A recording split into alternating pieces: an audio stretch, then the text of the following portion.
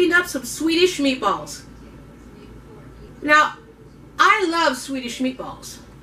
And it's a nice wholesome dish and it doesn't really take that long to put together. There is a little bit of work involved, but it comes together really well. I think you're going to like it. Stick around. So today I'll be using two different kinds of meat. I'll be using some ground hamburger and some ground pork. I have a pound of each, um, but I'm only going to use about a half pound of each, and I'll save the other halves for something else. Now, the first thing you want to do uh, to make your meatballs is I have a half of a cup of milk here. I'm going to pour that in. I also have a half of a cup of breadcrumbs. I'm going to pour that in. And I have a half of a really large chopped onion.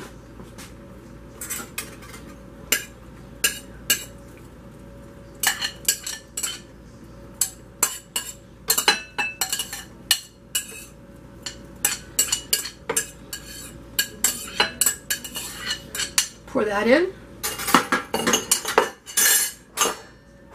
I have an eighth of a teaspoon of pepper and a half a teaspoon I'm sorry, a quarter of teaspoon of salt. Pour that in. I have a half of a tablespoon of parsley.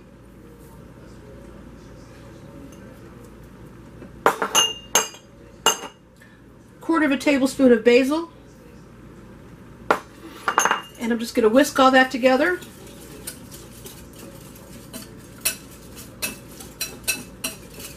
Get that nice and soaked in.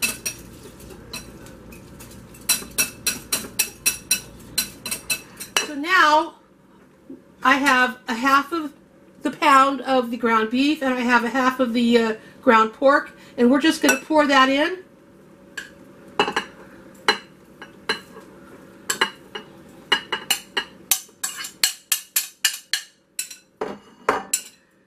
We're going to mix it up.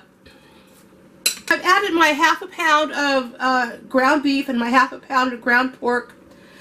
Now I'm going to add one egg.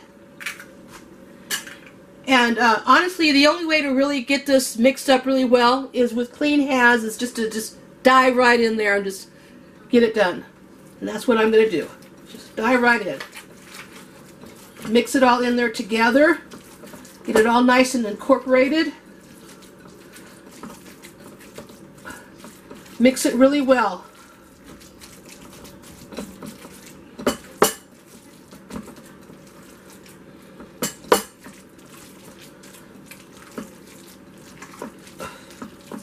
I like to come from the bottom and bring up and fold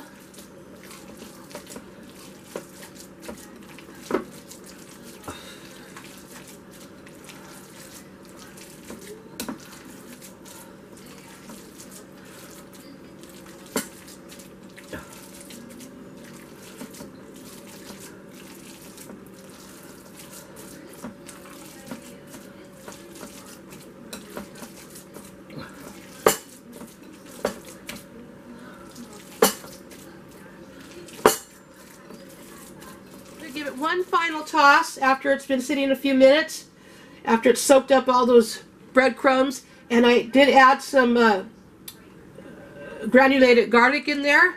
And I'm going to give that one final toss into my mix.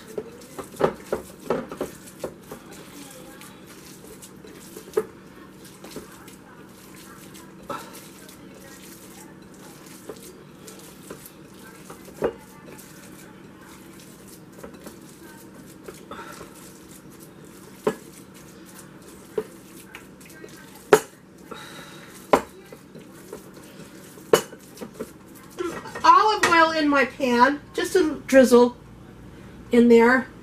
And um, now I'm just going to take my little, this is just a little ice cream scooper. You know, if you have one, if you want to use it, um, it'll make some, it kind of makes really large meatballs. So I don't know if I want to use it or not, but that gives you an idea that you could use one if you like. I prefer actually to just use my hands.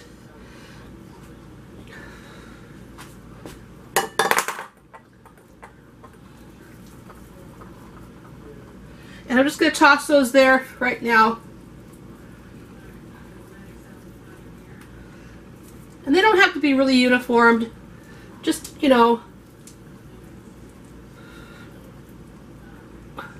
a nice shape. Okay, let me get these rolled out and I'll bring you back. So in my pan I have a little drizzle of olive oil and it's heating up. I also have my oven preheating to 375. As you, you can see, I've got, these are pretty much uniformed in, you know, size. And we're just gonna, some people like to cook them in the oven. I, I like to just fry them up in the pan.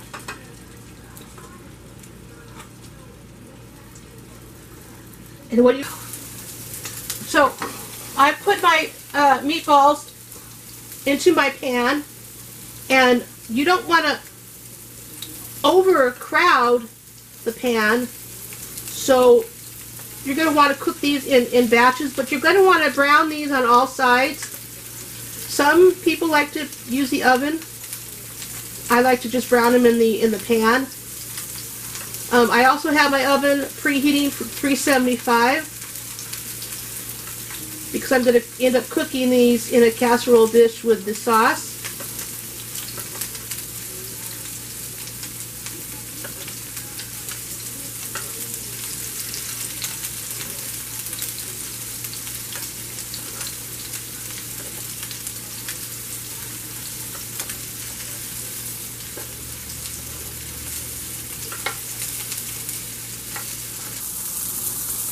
Now you really want to get a good sear on all sides.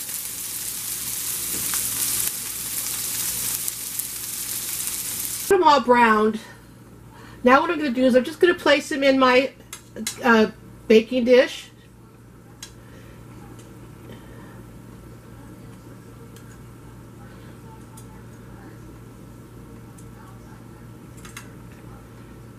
so.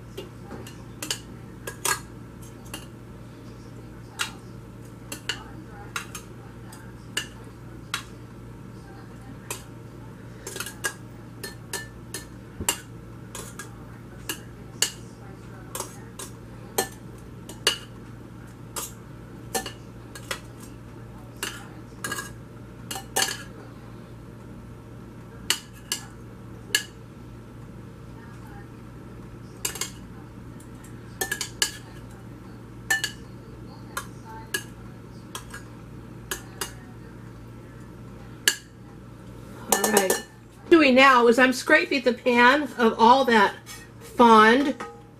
And I'm just going to toss that in the in my bowl because that's going to become part of my sauce. Alrighty. Now, for my sauce, again I have my fond from the pan here. I'm going to use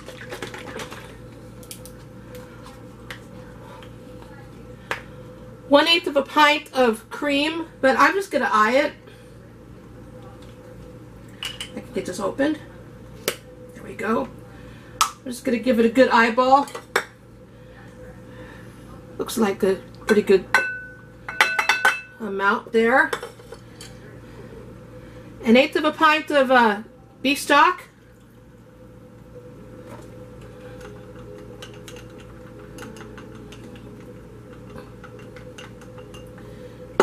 there.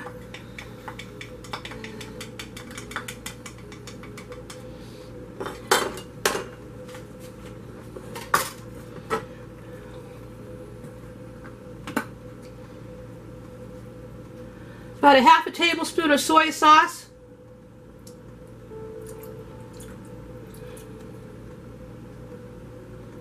Ah, that should do it.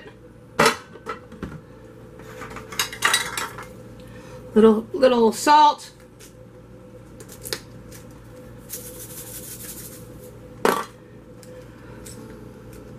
Little pepper. Whisk together.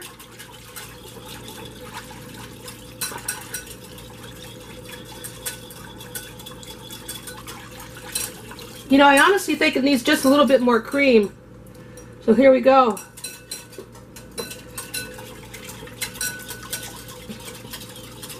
I don't want to be stingy with the cream.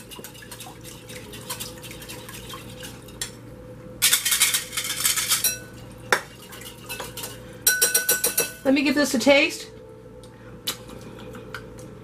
Oh my goodness. That tastes so good. All right. Pardon my mess here. You know, they say that if you don't make a mess in the kitchen, you're not a good cook. So, I believe them. Okay, I'm going to pour my sauce over my meatballs.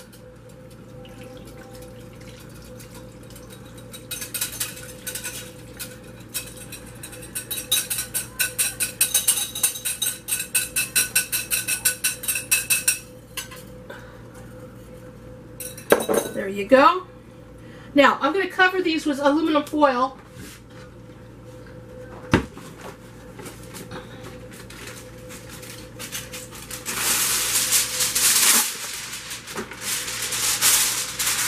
And I'm going to cook in in my oven at 375 for about 20 minutes.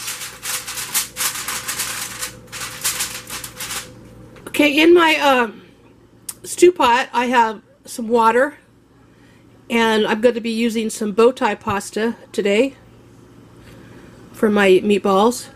When you uh, cook water for pasta, always salt the water. Always salt it.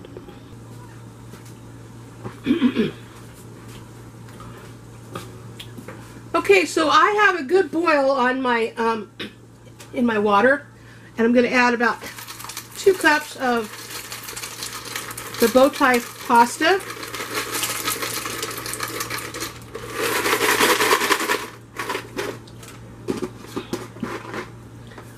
Give that a stir. I'm going to bring this back up to a boil and we're going to cook it for about 10 minutes.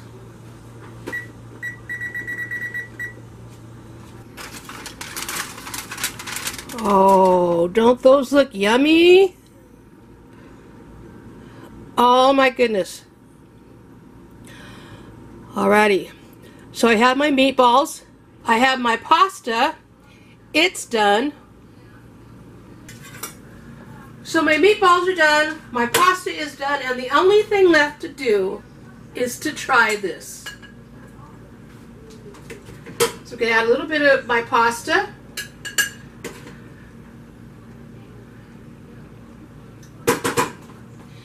And I'm going to add some of my meatballs. I'm going to toss them around a little bit and this get some of that flavor on the on them.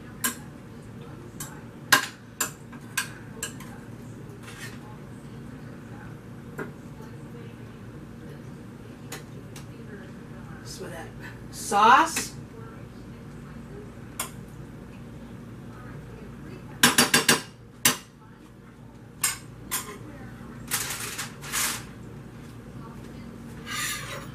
The moment of truth. I gotta tell you, this really smells amazing. It really does. Does it look amazing?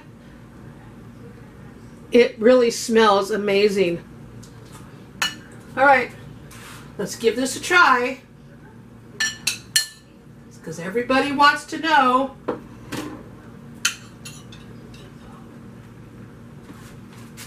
Here we go. hot.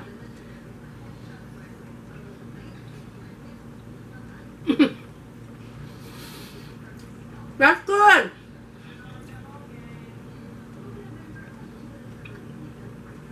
That's really good. Okay. I'm going to finish this. I'm going to put the recipe in the uh, description box down below. If you look over to the left side of the screen, you're going to see a little bell. subscribe to my channel. Okay? Hit that bell and you'll be notified whenever I make a new video. Yes, you will. I promise you. Mm. Great. Oh my God. So good. That's it for me today. Thanks for watching. Be safe, be well, and be kind. We'll see you next time. Bye bye.